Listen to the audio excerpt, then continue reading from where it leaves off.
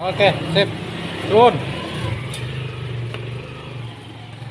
Oke, Assalamualaikum warahmatullahi wabarakatuh. Selamat siang berbanding mana berada Selamat beraktivitas, semoga kita selalu dalam keadaan sehat walafiat mas bro. Oke, ini kedatangan sepeda motor eh, KLX, Kawasaki KLX Ini trailnya ya. Ini yang punya mengeluhkan rodok-rodok. Apa kalau dipakai itu ada bunyi Bunyi ngik, ngok, ngok, ngik no, mas bro. Ketika boncengan atau melewati jalan yang bergelombang. Apa ya? Cenderung ada lubang no ya ini kayak gini. Apalagi kalau joknya ini bisa dipraktekkan kayak gini bunyinya nih. Nah ngono gimana nih kayak ada telur kecepet nih tak deketin kameranya biar suaranya tambah jelas. Kayak gini. Ini enggak harus sepeda motor ini cuman kebetulan medianya KLX ya ini keseringan nemu ini ya memang mungkin medannya itu medan uh, gestrek ya off road kayak gini sering kotor dalamnya agak bunyi ngik-ngik. Dan apa sih sebenarnya kok bisa masalahnya dan di mana dan solusinya bagaimana cara mengatasi? Sebenarnya agak-agak simple ini kalau tahu triknya tahu sumbernya. Ini mas berbiasa ini paling sering ada di bunyi di sini. Ini ada konrutnya mirip di CBR atau Vixen di sini. Cuman yang utama di sini dulu nih ada dua ya. Ini konrutnya di sini.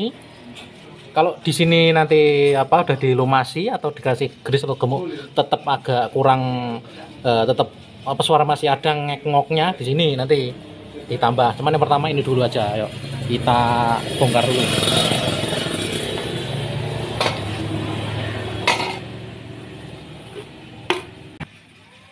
Oke langkah pertama jangan lupa diberi dongkrak dulu mas bro ya. Soalnya ini standar tengahnya jagang duanya nggak ada. Ini sekedar e, menahan karena apa ya tidak perlu sampai roda belakang dan depan itu ngangkat. Nggak, nggak perlu. Sekedar menahan kalau ini kan asnya nanti kita cabut biar nggak roboh sepeda motornya. Gitu aja. Pakai kunci 19 19 oh, berapa itu oh ya 19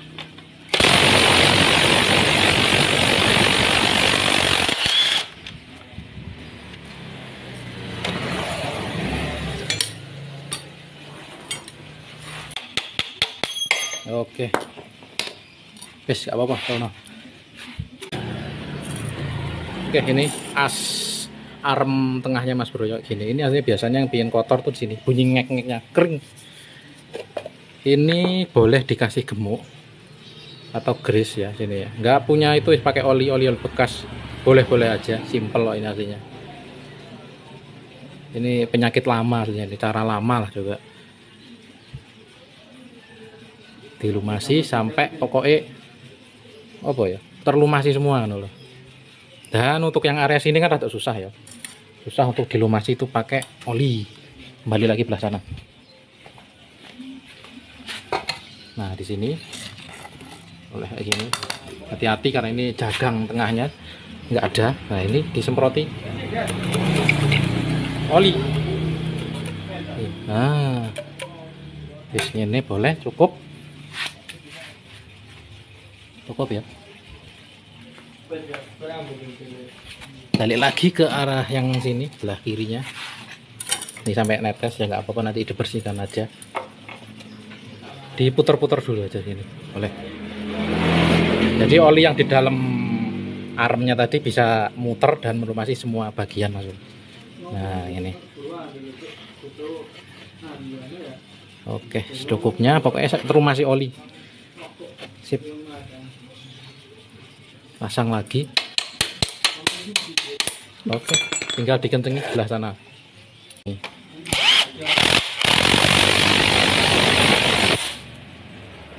Oke, sekarang coba dites dulu. Yang utama di situ yang sering sumber ada bunyinya. Nanti kalau enggak situ masih kurang di sini. Ini, konrutnya di sini. Dilumasi gemuk di situ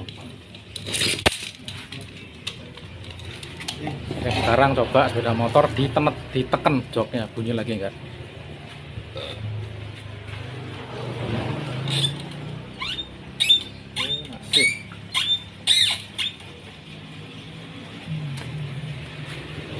Oke, langkah pertama sudah, ternyata masih. Di sini sekarang ada tiga ini. Oke, lanjut langsung aja dibongkar area ini. Ini kunci nomor 17 dipakai yang sini.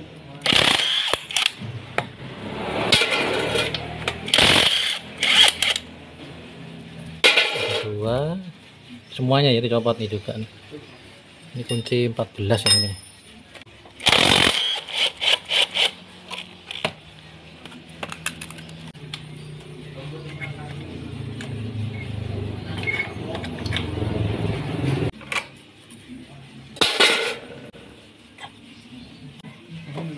ini pun sama dicopot.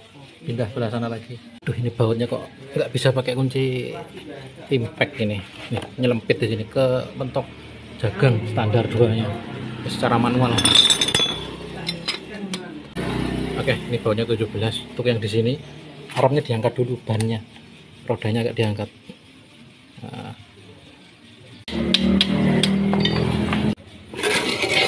oke copot ini dari kesemuanya tadi mas bro. Yang seret di sini doang. Ini kemungkinan besar suaranya yang menyumbang ngek-ngoknya di sini nih. Yang langsung terhubung ke arm. Loh water lengket bautnya nah ini ngobatinya bagaimana? Ini ada berapa tadi? Oh ini satu lagi belum copot. Oke konrut yang perantaranya ini udah copot. Ini masih lancar. Yes nggak apa-apa di intinya tuh kering biasanya mas. Sama kayak tadi di di apa jenenge area yang as arabnya tadi ya. Di sini diberi gemuknya sini. Menurut sampean enaknya gimana? Dibanyakin ya nggak apa-apa. Tuh kan kering ya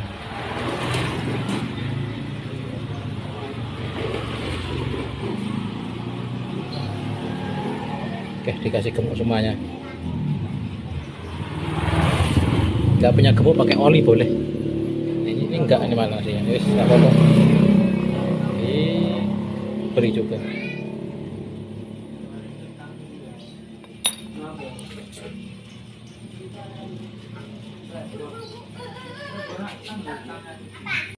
Oke ini saya singkatan aja mas bro. Area konduktnya yang segitiga ini cabut aja. Dan asnya ini diberi pelumas supaya bisa lancar di sini.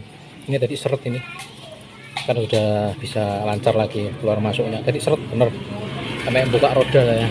Ya sini juga ya. Ini ada kelahar bambunya di sini. Pasang. Terus ini tinggal dipasang. Jangan lupa ini juga di rumah sih ini juga. Ini sudah saya kasih gemuk. Kalau masalah kerajian kerapinan monggo sampai natur sendiri aja. Ini saya kasih poin-poinnya saja.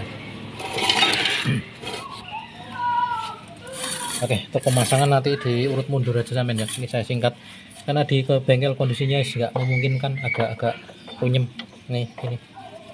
Oke mas ini sudah terpasang ya konrutnya ini maaf aja langsung disingkat.